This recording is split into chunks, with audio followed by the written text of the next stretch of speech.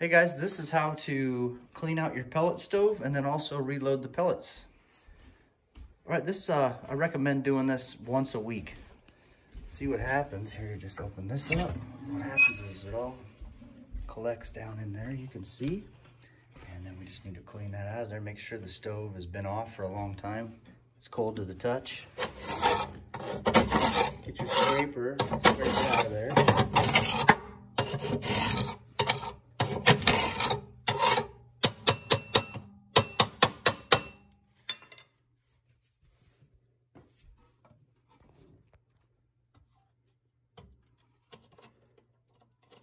Loosen those two wing nuts down there.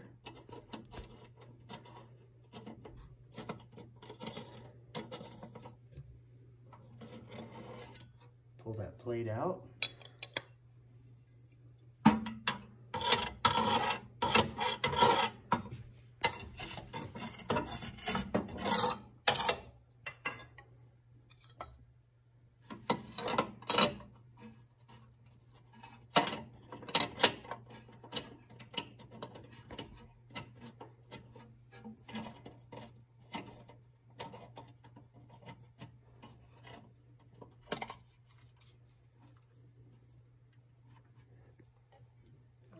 We'll hit it with the vinegar water. Vinegar water solution, and then the magic eraser and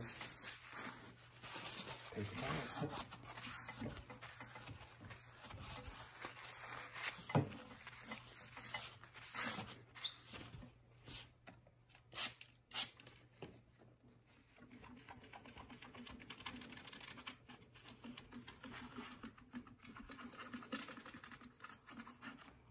Then we get the shop vac.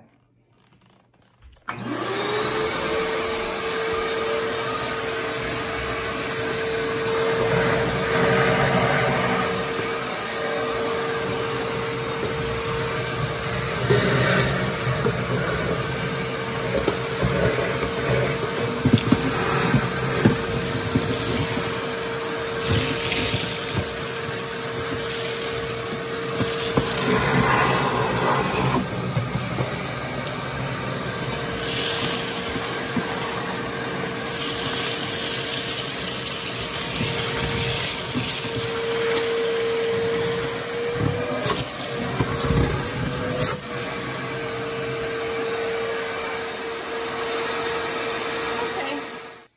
All right, and then to load the pellets, you just go right up here. Just pop this open. Up in here. Keep a little pellet can next to the stove here.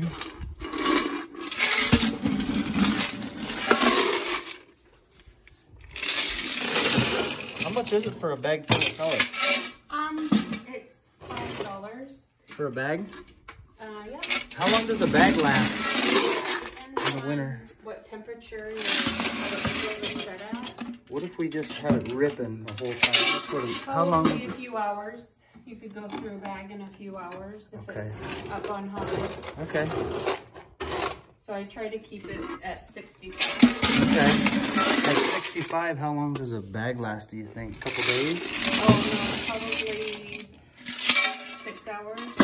Okay, so maybe 10 bucks a day? Yeah.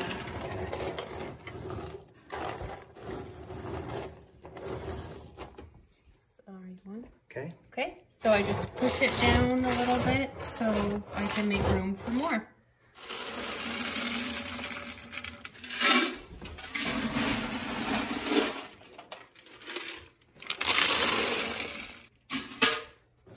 So I just make room for more pellets. I'll just squish them down a little bit further. And There we go. Make sure your rails are clean, getting the pellets out. Keep it clean.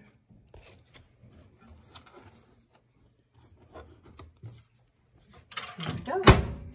You're ready to roll. All right, after you got your pellet stove cleaned out and, uh, and loaded up, here's how to operate it.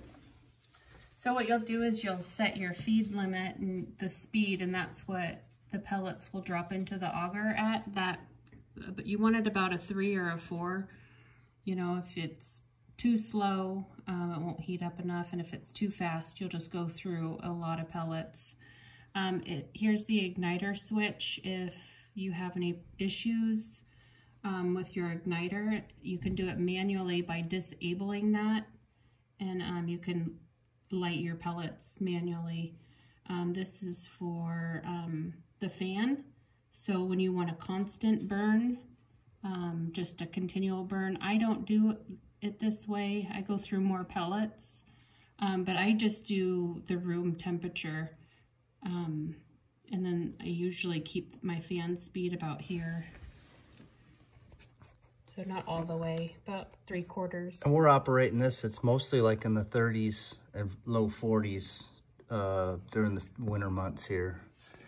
And I try to keep, you know, the thermostat, my room temperature to about 65 to, you know, my kids always will bump it up to 70, but I like to keep it at 65. It keeps the cost of the pellet stove and running the blower and buying pellets um, easier. Right, so I'm gonna do um, 65, 70-ish, and then I'm just gonna turn my dial and the pilot light's already lit, right? So we don't need to do any auto igniting or disabling. Right, yeah. Okay. And if the pilot wasn't lit, we would do auto ignite and it would ignite. And then if that didn't work, we would disable it and light it with a lighter, right? Mm -hmm. Okay. All right, so we're just waiting for it to come on now.